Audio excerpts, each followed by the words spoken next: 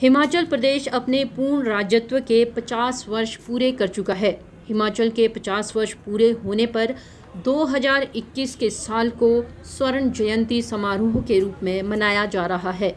हिमाचल की 50 साल की यात्रा को यादगार बनाने के लिए सरकार ने कई तरह के कार्यक्रम आयोजित करने का निर्णय लिया था।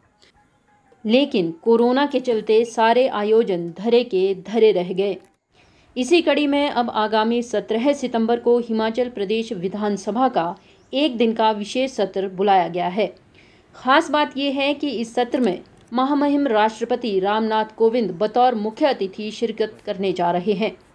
हिमाचल प्रदेश विधानसभा अध्यक्ष विपिन परमार ने बताया कि 17 सितंबर को हिमाचल विधानसभा में राष्ट्रपति का एक घंटे का विशेष अभिभाषण होगा। इसको लेकर हिमाचल प्रदेश विधानसभा ने सभी तैयारियाँ शुरू कर दी है। राष्ट्रपति रामनाथ कोविंद का हिमाचल में पाँच दिन के प्रवास का कार्यक्रम है।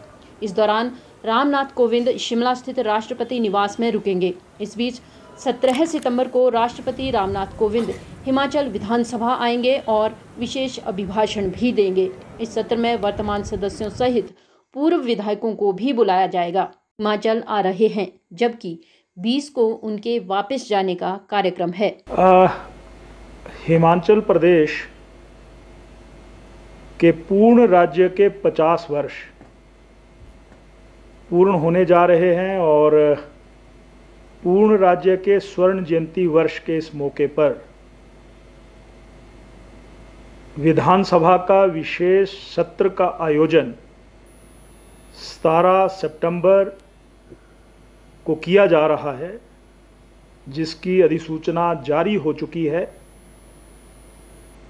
आदरणीय राष्ट्रपति जी, श्री रामनाथ कोविंद जी, इस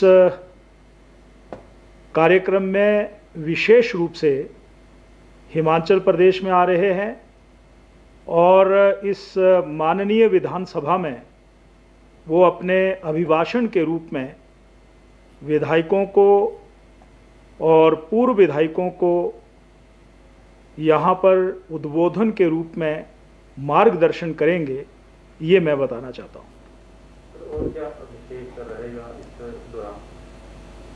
मैं तो यही कहना चाहता हूँ कि महामहिम राष्ट्रपति जी हिमाचल प्रदेश के प्रवास पर आ रहे हैं